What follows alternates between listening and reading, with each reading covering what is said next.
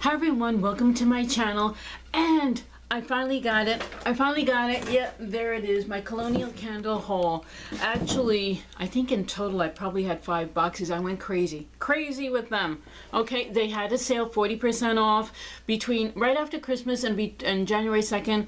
And I went mad, mad with power. Plus a couple of the scents that I wanted went in their sales section. So it was even better please let's not go there. Anyway i am going to start from the little ones that i purchased up all the way up to the 22 ounce candles.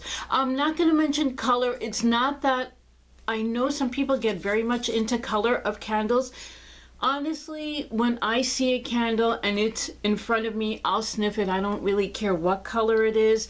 Uh, if the if it smells good color doesn't mean that much to me but sniffing does and scent description does. Anyway, I will get started with a 3.5 ounce in the scent Teakwood in Amber. Was interested in it because I wanted some woody fragrance.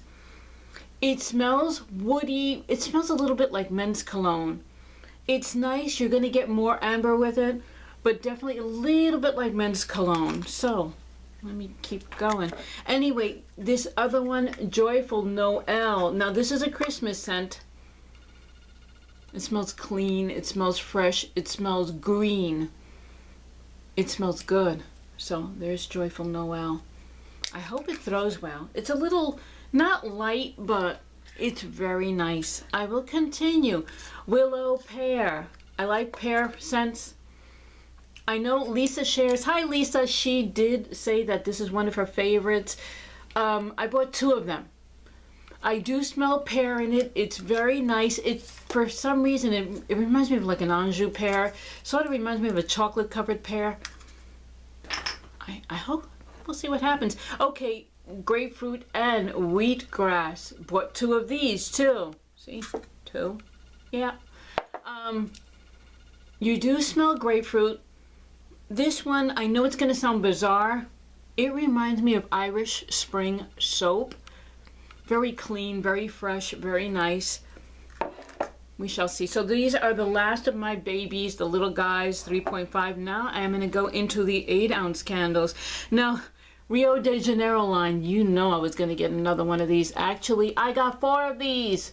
Caipirinha, which is a green lime scent love the fragrance. When I saw it in the sales section because initially when it was 50% off on Cyber Monday it was just its normal price. I do believe so but they put it in the sales section which means that it went down to I think 750 so I got this half 40% off. I bought four additional jars to the one that I'm burning and I didn't even want to burn the one that I'm burning now I got and I reviewed it already. You can check my um, review for it. Gorgeous Love the scent. Pure lime zest, no vanilla. Lime zest with a little tweak of alcohol. Love it. So I will keep going. This one, Christmas. This is from their Christmas line. They finally put it in their sales section. Birch and clove. Interested in it because it, I wanted the sense of woods and I love the sense of clove. So mixed together, I figured let me give it a try. It's sweet. You can smell cinnamon in it, and I do believe cinnamon is inside. It's really a lovely scent. Got two of them. Okay, two people. Crazy, crazy. Keep going. I wanted this one too. This one was not available in the sales section. This one I got directly because I wanted to try it. It was 40% off um, apricot and mint. There it is, apricot and mint. It's basically because I like apricots, I like peaches. I wanted to see what they could do with it and I like the scent of mint. It's very cool. And Colonial is one of the, the brands or one of the companies that do like to blend a lot of fragrances together. Village does it, uh, Goose Creek does it, Colonial does it. Not one or two couple of little fragrances. We're talking about four or five. They, they just blend and blend and blend apricot and mint smells gorgeous. It's like ripe, luscious, juicy apricots mixed with just a hint of fresh green mint. Beautiful. Hopefully it'll throw, but it's beautiful. Here we go. Absinthe. I hope I said that right. And bergamot. Okay, why? See the black licorice on the label? I like licorice. I like red licorice. I like black licorice. Yes, to eat. Love, and I like the scent. You smell black licorice most definitely, and you smell the the green freshness of bergamot. It's beautiful. I hope it throws well. I like it's earthy. It's it's really nice. So that's the end of my eight ounce ones. I don't yeah, I'm pretty good.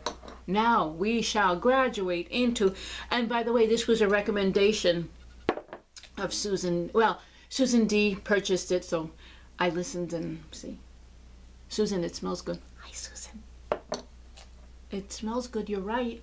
Okay, now part of the part of this collection, Rio de Janeiro, the one that didn't come in the 22 ounce. What can, what can I say? They put all the Rio de Janeiro candles in the sale center. Again, the 22 ounce normally runs for $25.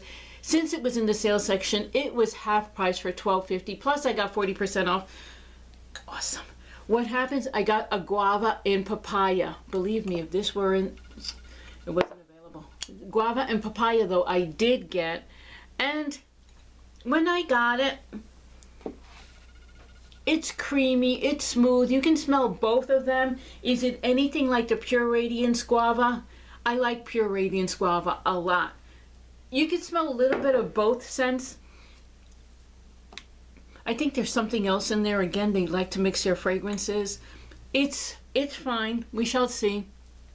have to give things a chance. You never know what they're really going to smell like until you start burning them and sitting back and enjoying the hopeful fragrance. Anyway, next one, citrus boysenberry. Why did I get it?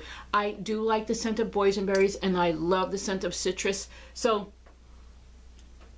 you get this freshness of the citrus, that nice clean brightness of a citrus, plus the deep rich background of a boysenberry. It really is beautiful. So I am sincerely hoping that it's going to throw both fragrances into the air and just gonna play, gonna play and mix beautifully. Anyway, here is my last, my beautiful, my 22 ounce candle. The Tragique, eh, Tragique. Okay. Normally, Colonial Candle will pack all large candles and even some of these in this little square little cardboard box that has a separation and they put that in and then they'll put that in the other large box that I showed you with bubble wrap and paper and this and that.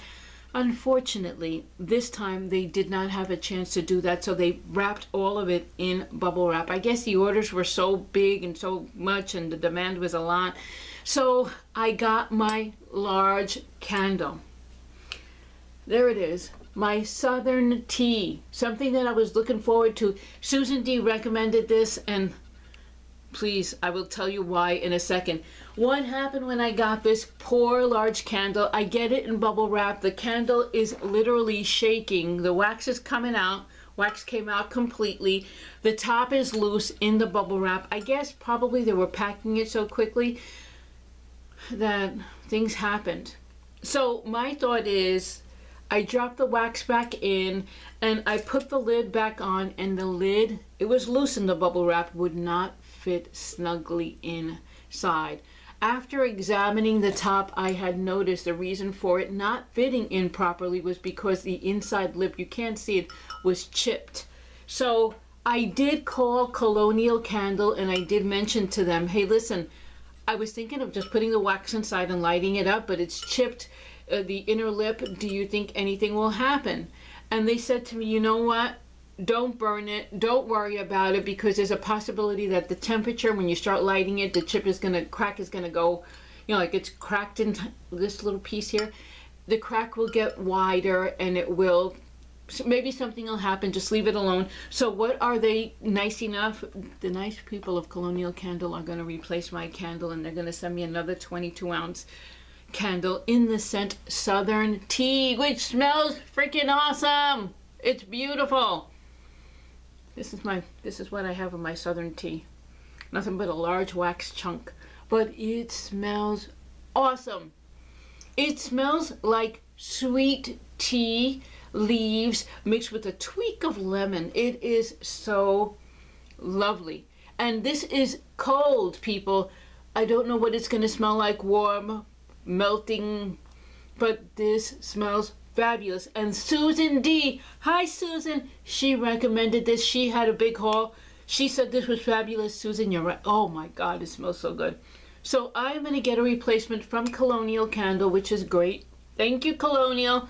But, you know, oh, it smells so good. So there we go. Now, that is not the only thing that I did uh, get because I went a little crazy. I did.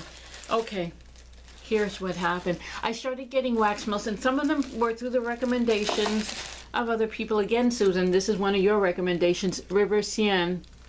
I don't know if I'm saying that right, but this is a nice florally fragrance. It's not too bad because it's very light. It's very soft. I like it too.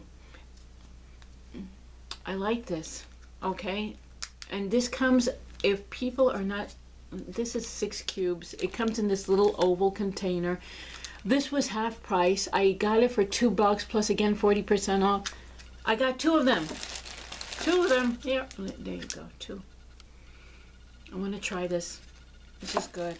Now, this one, vanilla lavender. Okay, Vanilla Lavender, I think Susan D and uh, probably Norma from Candle Dancer, they got them.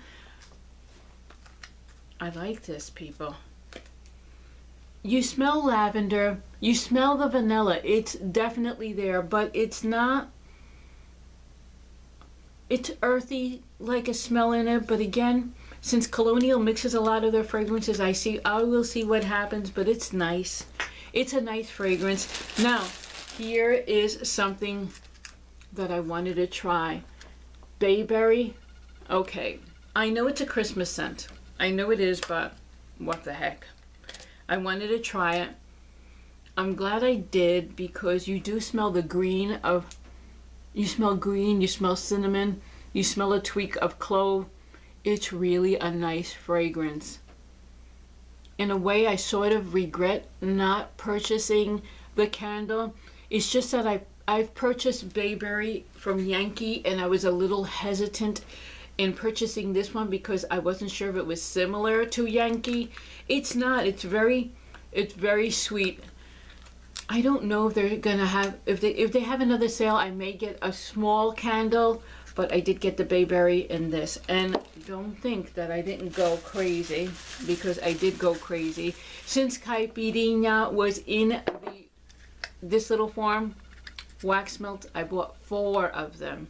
Yeah, people, four, okay? And I have one in my wax melter going, and let me tell you, it's super strong.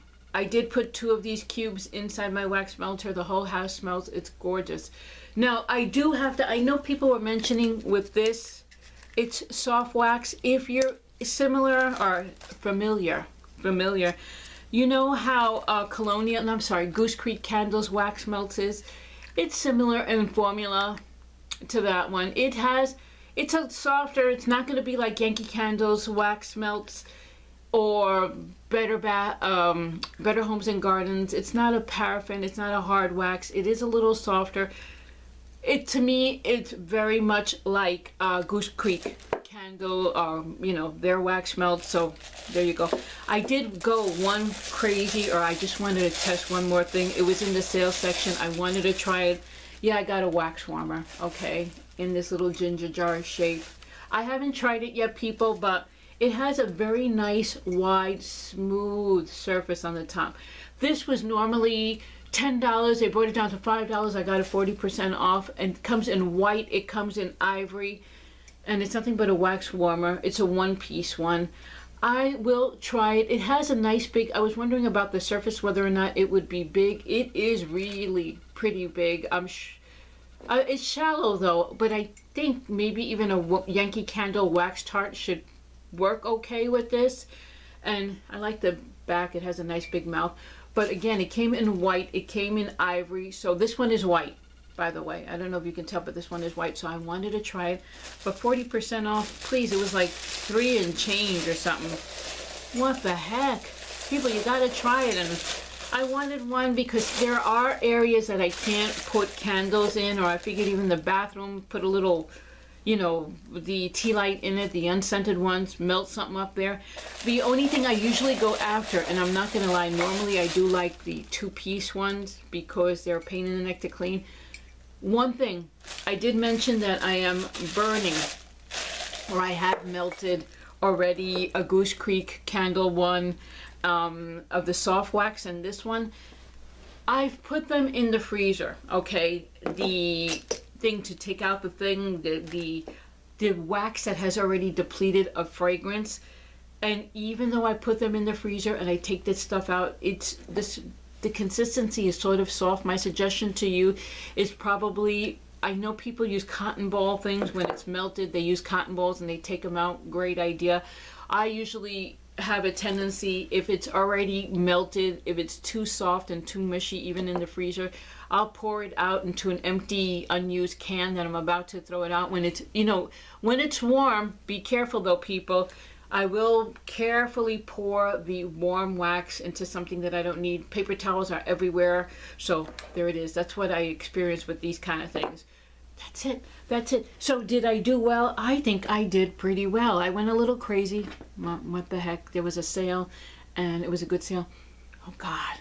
This smells so good. Southern tea, Southern tea, people. It's beautiful. Beautiful. Anyway, I think I'm going to put all my stuff away. I think I did well. I think I showed you everything. Anyway, thank you for watching. Don't forget to comment, rate, and subscribe. And take care, everyone. Bye-bye.